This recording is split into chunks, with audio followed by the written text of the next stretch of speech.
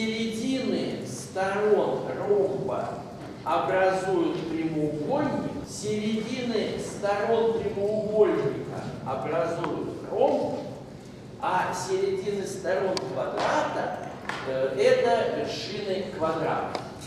Ну, мне кажется, что это настолько просто, что даже, в общем, вряд ли нуждается в специальном обсуждении. Господа, вот если взяли э, квадрат и соединили его середин, середины сторон, ну, честное слово, получается квадрат. Если вы взяли ромб,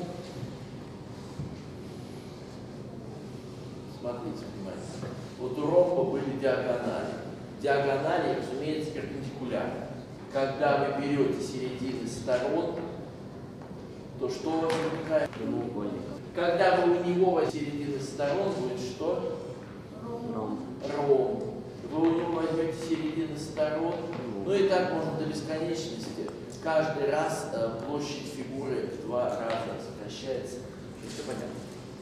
Средняя линия треугольника делит пополам любой отрезок, который соединяет вершину треугольника с точкой на противоположной стороне.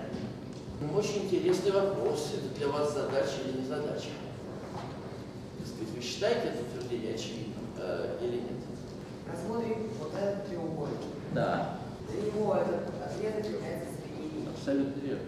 Потому что мы же учили, что средняя линия проходит через середину стороны и параллельно стороне треугольника. Правильно? Да. Ну, а параллельно